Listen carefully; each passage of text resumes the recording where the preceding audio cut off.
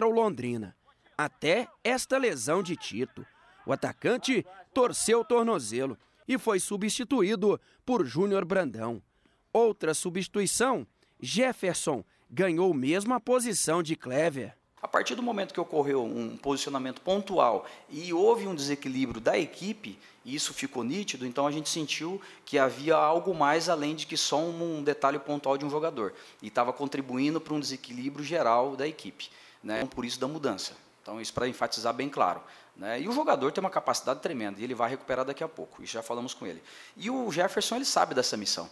É, no entanto, que ele recebe como uma oportunidade, ele disse, é a melhor oportunidade dele, e ele vai agarrar com unhas e dentes. A partida desta sexta-feira no Olímpico, às nove e meia da noite, será especial para Cláudio Tencati, pela primeira vez contra sua ex-equipe. Se eu cresci, cresci com o Londrina, e se o Londrina cresceu, cresceu sob o meu comando. Então, acho que nós crescemos juntos. Então o projeto foi muito bacana, houve um crescimento geral e eu participei desse crescimento, estou muito agradecido, mas ponto, né? Hoje eu defendo o Atlético e tenho um carinho também hoje pelo Atlético, uma identificação. Até o Adson isso comenta direto comigo, eu comento com o Adson, que o ambiente ficou tão favorável para mim na minha chegada aqui diante do Atlético que eh, se construiu um ambiente muito rápido, muito favorável, né? Então parece que a gente se conhece há, há muito tempo. E o time paranaense já venceu fora de casa.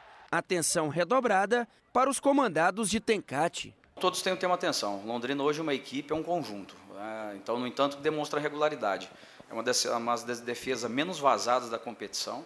Né? Perdeu por 1 a 0 para o Paysandu e que um jogo que talvez se a gente colocasse na balança não era para ter perdido. Então é um time muito regular, muito organizado, muito estruturado. É, se talvez não faz muito gol, mas também não sofre. Então um time de um equilíbrio muito forte.